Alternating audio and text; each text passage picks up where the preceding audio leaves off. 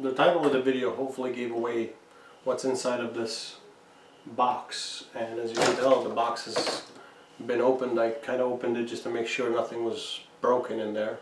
This came in about two and a half months ago and I really haven't had time to open it properly. So I figured let me do an unboxing video.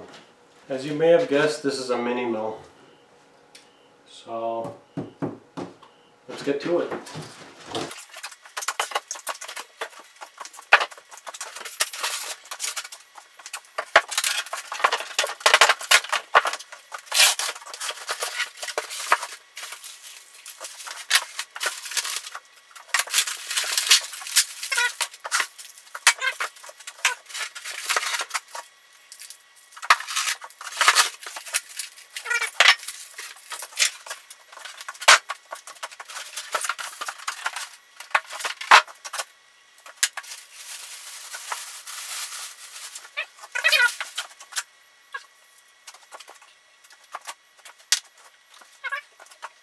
Well, before I remove it off of this base, this thing is, well, filthy. So,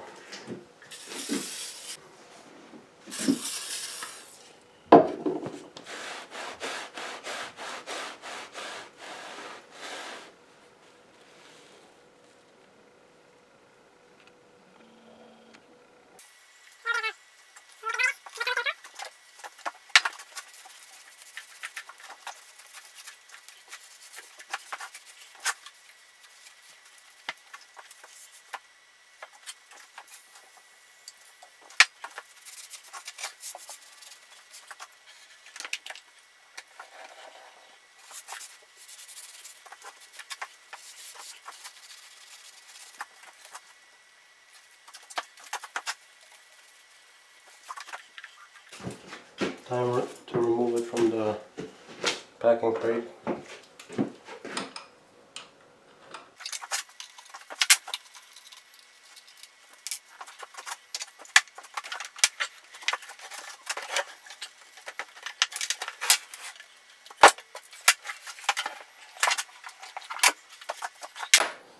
Well, this is probably the lightest machine tool I have, or second lightest machine tool I have. Still heavy and cumbersome, deceptively so. And I can, I can already tell she's out of alignment. She is leaning to the right. That stupid flexible column that they insist on making these with. Yeah. But onwards and upwards. We install the handle.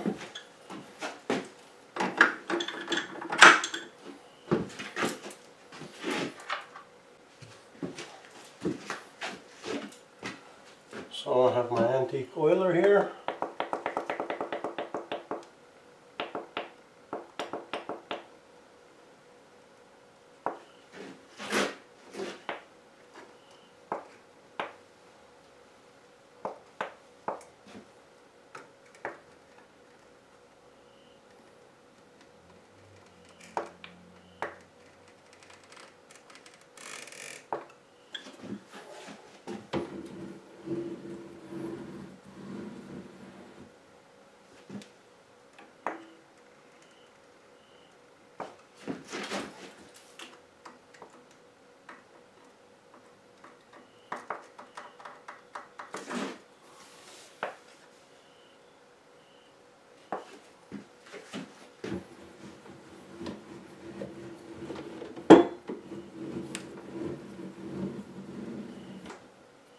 Believe it or not, that feels so much better.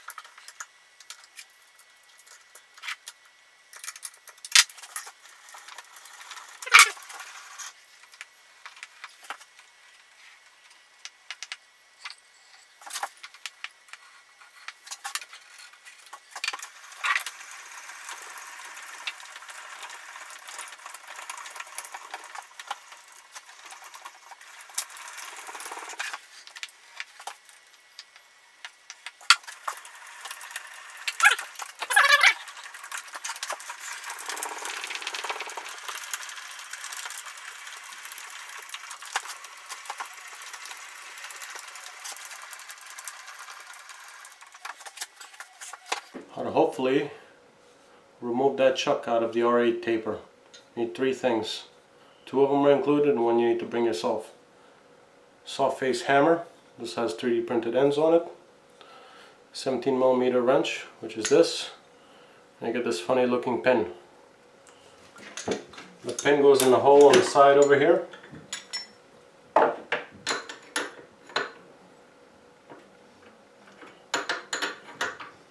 You bring it, turn it until it in, like so. You heard it click.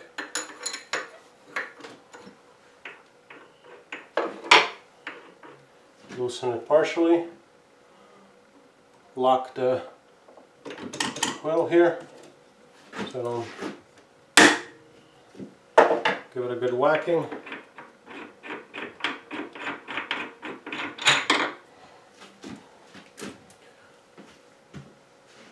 There's the R8 drill chuck.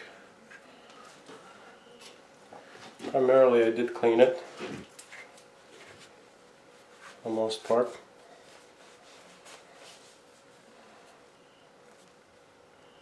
Looks nice.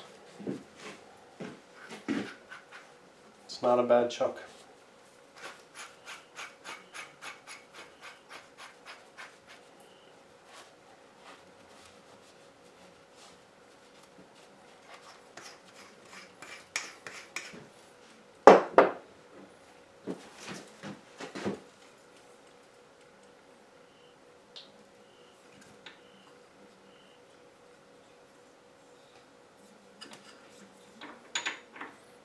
Spindle. Feels pretty good. This is the draw bar. A little shoulder adapter here.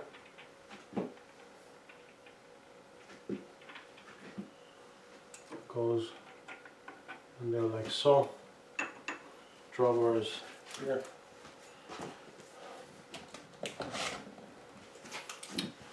So I did buy some tools for this thing.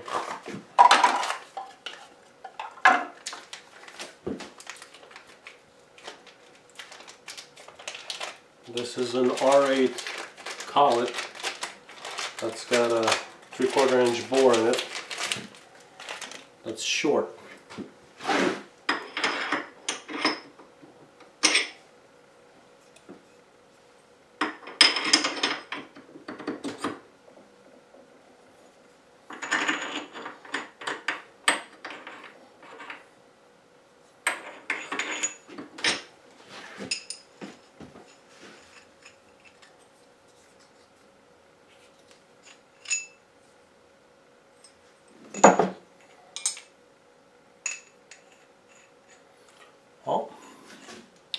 There's the first project. For this collet, I need a different draw bar. The factory draw bar, a different thread.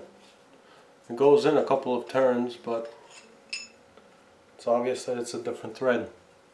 I take it to the hardware store, find out what kind of thread this is, and then make a new draw bar.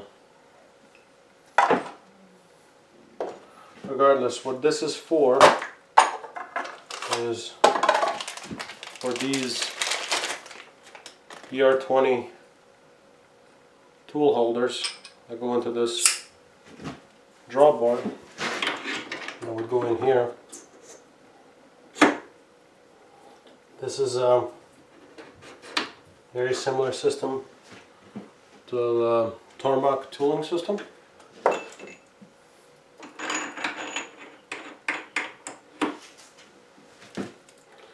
what happens is these tools they register on the spindle bore or I should say on the spindle face. And once the tool draws it closed hold this very well. These are ER20s I bought two of these.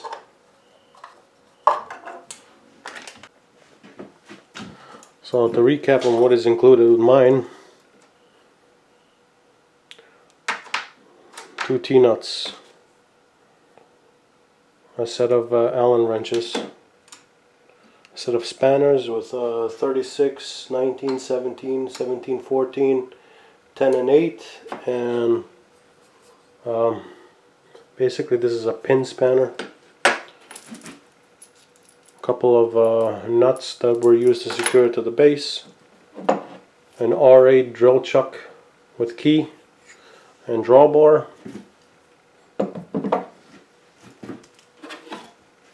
and the shield for when you're milling. Shield goes here. Uh, I'm not going to put it on right now. I will put it on later. I am not sure what to say about this. It's um, it's something that I wanted for a very long time. I always wanted one of these mini mills. I have some plans on doing some projects with this thing.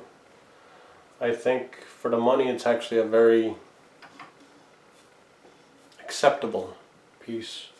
Um, the table on this actually reminds me of uh, the Atlas MFC table. The design is very very similar.